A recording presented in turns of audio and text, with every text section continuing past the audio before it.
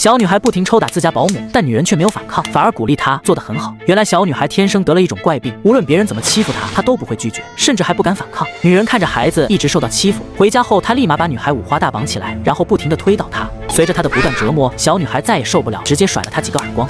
此后，小女孩就学会了反抗，只要有同学欺负她，她就会立马起身反手打过去。躲在暗处的女人看到女孩不再受欺负，她才发自肺腑地笑了出来。可随着两人的相处越来越亲密，女主人也意识到女儿对保姆太依赖。